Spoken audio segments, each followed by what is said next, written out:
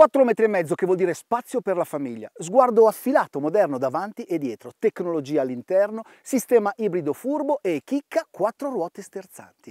Ecco una C-SUV molto intelligente che potrà dire la sua. Megane ha introdotto questo nuovo corso, questo nuovo stile di Renault. Lei raccoglie ma in modo più moderato, più conservativo, del resto deve fare grandi numeri. Quindi abitabilità, c'è una sensazione di tetto spiovente, un po' coupé, enfatizzato dal bicolor, ma rimane comunque una macchina di sostanza.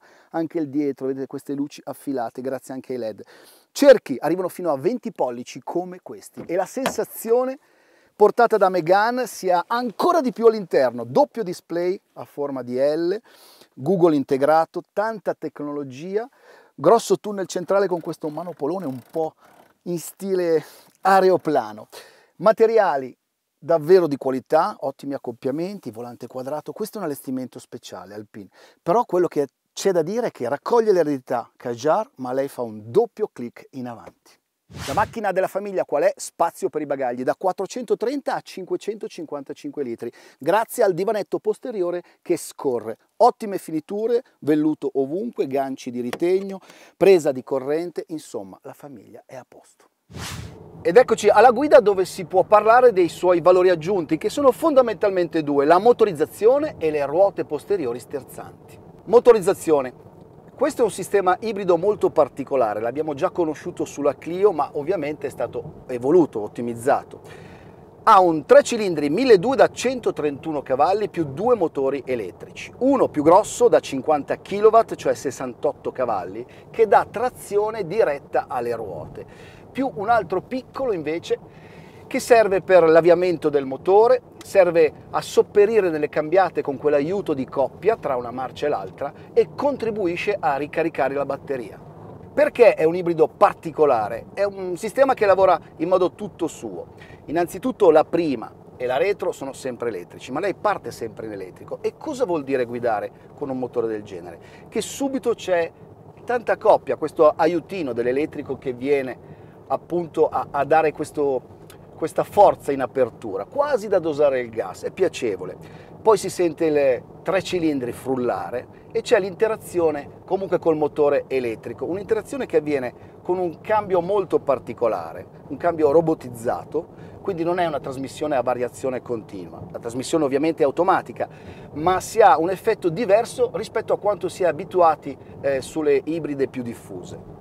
La progressione è molto buona, non c'è il tipico picco di regime che siamo abituati a sentire per esempio sul sistema ibrido di Toyota. C'è una progressione continua, costante e poi c'è invece il momento della cambiata dove c'è un interregno temporale di attesa. Questa cosa la si sente soprattutto in modalità di guida comfort, in quella sport viene, viene smussata, vengono accorciati questi tempi morti, chiamiamoli così. Diciamo che per apprezzarla al meglio conviene avere un piede leggero sul gas e allora si apprezza questa interazione, questa logica di cambiata. Davvero prevale una fluidità generale molto piacevole. Se si vuole invece essere più padroni della guida, ecco, mm, qui bisogna interpretare, capire le logiche di cambiata, eh, perché può magari a volte rimanere la marcia dentro più a lungo, oppure puoi entrare in curva e lei ti libera e quindi non hai più freno motore. E quando si esce magari dalla curva stretta dal tornante questa coppia subito molto piacevole bisogna imparare a conoscerla. Vuol dire essere appunto leggeri col comando del gas per non avere questo piccolo sussulto che è piacevole ma magari può disturbare la quiete anche dei passeggeri che sono con voi. Quattro possibilità di ricarica generativa mediante piccoli paddle al volante può essere un, un, aiuto alla guida per personalizzare anche il proprio stile di guida, si arriva fino al one pedal feeling. Ecco, devo dire che la visualizzazione dello stato di ricarica generativa non si vede, è occultato dal drive. Qui, come siamo stati abituati sulla Megane, sono, è abbastanza affollata la parte destra del volante. Tre leve ci sono, appunto il drive, poi c'è quella del tergicristallo e infine il satellite per la regolazione del volume dell'hi-fi. Volante quadrato come sulla Megane, all'inizio può sconcertare, invece ci si abitua facilmente e non occlude la strumentazione. Strumentazione che è molto ben visibile con questo pannello, questo doppio display a forma di L, Open R, che è molto, molto definito, si vede molto bene, nonostante non ci sia nessuna palpebra sopra eh, di esso. Secondo valore aggiunto, dicevamo, le ruote sterzanti posteriori che sono davvero una rarità su una C-SUV come questa. Arrivano a sterzare in controfase fino a 5 gradi per aumentare l'agilità, la managevolezza. Infatti il diametro di sterzata dichiarato è davvero notevole per una lunghezza così di 4 metri e mezzo, 10,1 metri il diametro. Ovviamente parliamo nella situazione di, delle ruote sterzanti posteriori perché solo con le anteriori invece aumenta questo diametro, ma non di molto. Si viene conquistati dalla silenziosità di marcia che si ha. Il motore si sente appena, il tre cilindri lo si sente eh, brulicare solo quando è chiamato in causa agli alti regimi, altrimenti si fluttua in una sensazione di, di scorrevolezza notevole, a tal punto che eh, i frusci degli specchietti emergono perché eh, c'è, silenzio, così come il rotolamento, si avverte abbastanza. Buona l'impronta a terra, ricordiamo che a cerchi da 20 arriva fino a 20, come in questo caso parte da 18 il diametro. Sterzo abbastanza diretto, non come sulla Megane, ma c'è una buona sensazione di guida.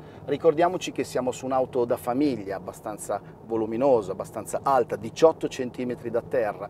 E quindi uno non ha la sensazione di eh, provare qualcosa di sportivo, anche se in questo allestimento speciale devo dire che tra cucitura e contrasto, simil Alcantara e, e quant'altro si ha questa percezione, ma è puramente una nota estetica.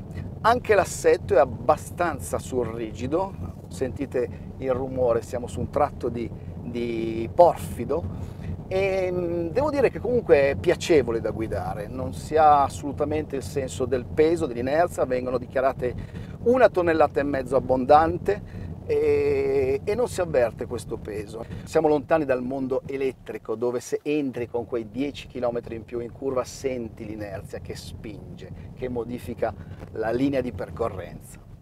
Oltre a questo full hybrid ci sono anche due mild hybrid ovvero il 12 volt a 160 cavalli e cambio doppio frizione e invece il 48 volt con il 3 cilindri da 131 cavalli e cambio manuale.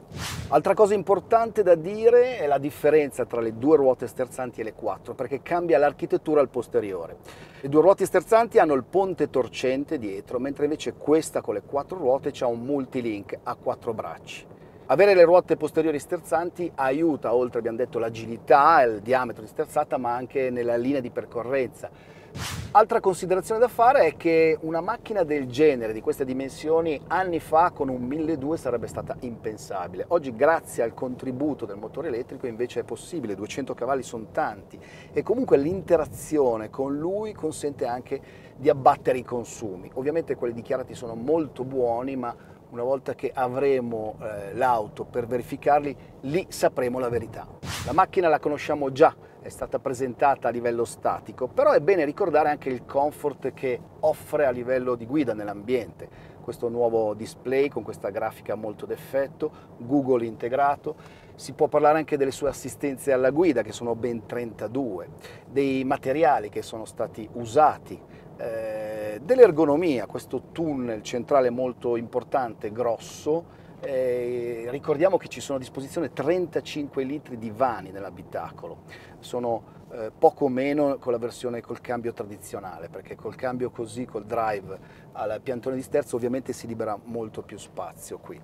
E diciamo che quello che ha portato la Megane a livello di innovazione, di stile, lei raccoglie anche se rimane più conservativa. Questa è una macchina che deve fare i numeri. Ecco perché osare sì, ma ehm, in modo più oculato. Comunque devo dire che il salto qualitativo in alto c'è stato.